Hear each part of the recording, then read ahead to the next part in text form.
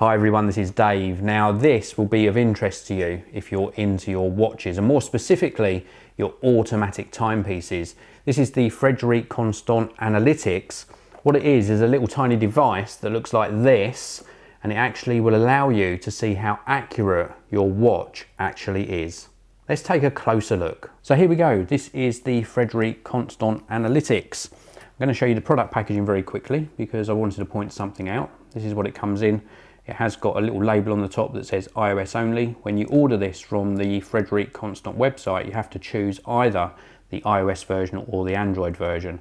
I thought that was quite strange because for all intents and purposes, the hardware that you get should be the same, but you do have to choose when you're ordering it. Now inside that packaging, you get a little quick start guide. This is going to guide you through getting everything up and running.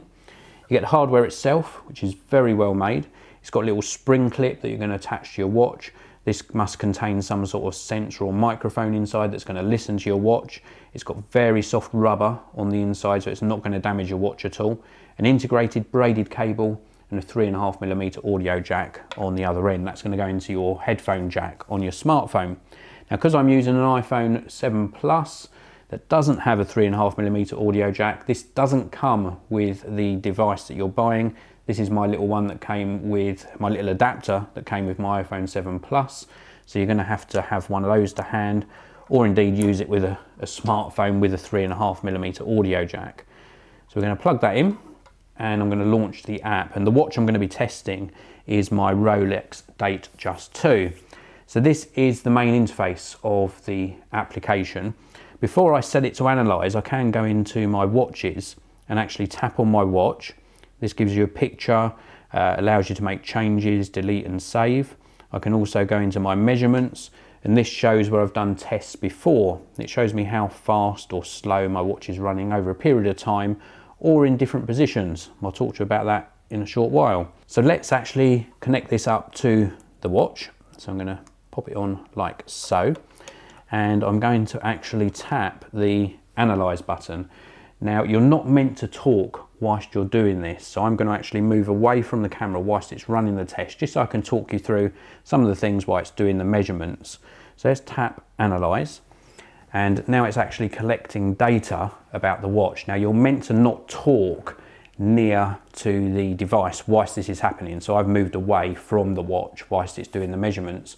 But you can actually do multiple measurements different times a day with the watch in different positions. You could do it face down, you could do the watch face up like it is now, crown side down, other side down, and you can see how that affects the accuracy of your watch. So for the remainder of this measuring process, I'm going to stop talking. So there you go, that's the measurement completed. And you can see here for this particular measurement, it's going to actually gain 0.8 seconds per day. Now I can either restart and take another measurement in a different position or the same position, or I can actually save that to one of my existing watches, or I can add a new watch. So I've got already got a watch in here, so I'm going to actually save that to my existing watch.